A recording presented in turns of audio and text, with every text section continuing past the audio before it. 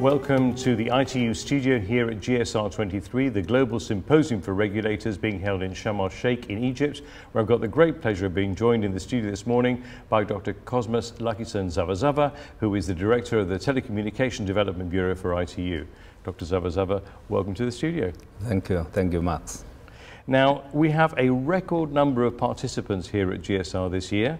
Uh, congratulations. Thank you. I wanted to ask you, what is unique about this particular edition of GSR?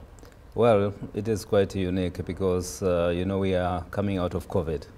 The pandemic wreaked havoc across the world. People couldn't travel, they couldn't meet, they couldn't debate physically. And it all makes a difference. And uh, in the interim, technology was galloping and uh, needed people to sit down and discuss burning issues. So we are excited uh, about the presence of so many, it's a record-breaking GSR. And in terms of the outcomes of GSR, uh, the, the principal outcome is uh, the new set of best practice guidelines. Why are they important? When you drive, you need a GPS to know where you are going. The regulators need reference materials. And this uh, a result of wide consultation to make sure that there is harmonization, there is a shared vision going ahead. So it is quite critical and uh, it is important for the regulators. Now, at this GSR, you launched the Digital Regulation Network Initiative. Could you tell us a little bit more about it? Absolutely. Uh, you can't work in a silo.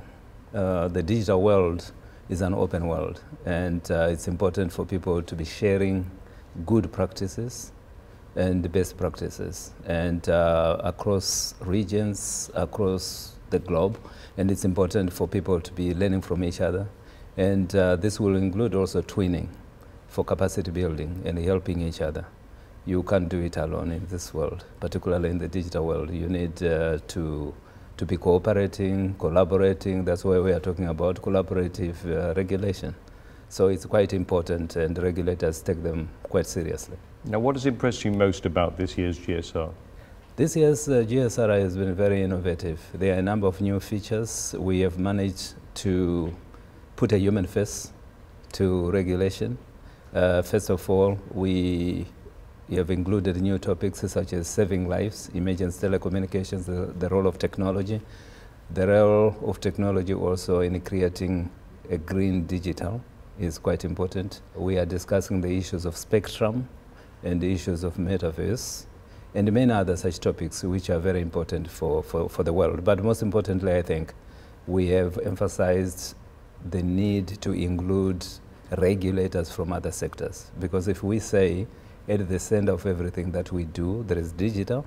We need a conversation with the other sectors. So multidisciplinary, multi-sectoral, multi-players. We need to have a conversation. And we are very happy because uh, we also created uh, a new segment which includes ministers. And I call it a triple play, uh, the conversation between policymakers, regulators, and the industry we should not forget our private sector and industry because they are the ones who invest and connect the world uh, and bridge the many divides that we have, urban, semi-urban, peri-urban, remote areas, etc. Finally, you're no stranger to the telecommunication development landscape. You've been with the Telecommunication Development Bureau for many years, but this year you're Telecommunications uh, Development Bureau Director. And I just really wanted to ask you how, well, first of all, congratulations once more, uh, but how, how has your, how's your time been so far? Excellent. It couldn't be better.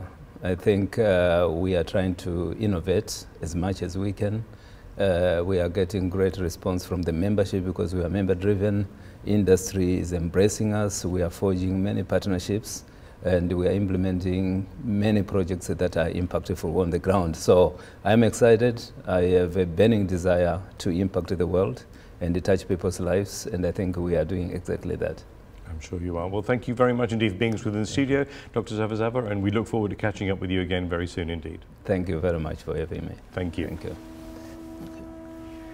And uh, thank you very much as well for being with us.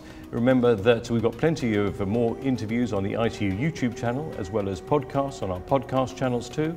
And for further information, visit www.itu.int. Thank you very much indeed.